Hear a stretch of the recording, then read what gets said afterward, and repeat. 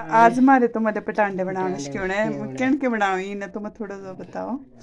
पटांडे बेटा पहले खराड़ो बे पीठो पानी माए तब गोड़ो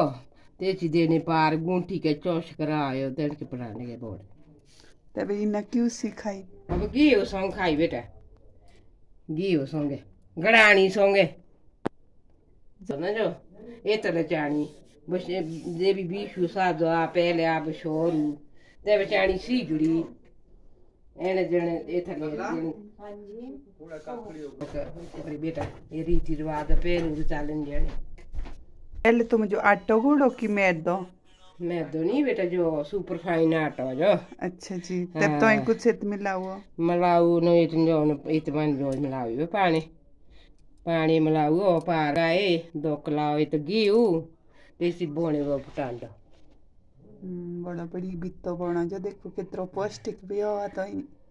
खाना लगे बड़ी बित्तो बढ़िया हम्म तो खाना लो बेटा पहले रीति खान मारे जो गड़ानी सी। ते खान मारे जो गड़ानी सोंगे घी और गड़ानी सोंगे। तो जो एक पारंपरिक हाँ, डिश आसा हाँ, तुम्हें भी अपने घर दे ए ए बनावे सो बनाओ सोका तो लोग ले भी खिलाए सो खिलाओ सोका सुबह चा तुम्हें Nuk e vuru vetës. Allo, e vëtojnë bërano ma rekë për të ndo.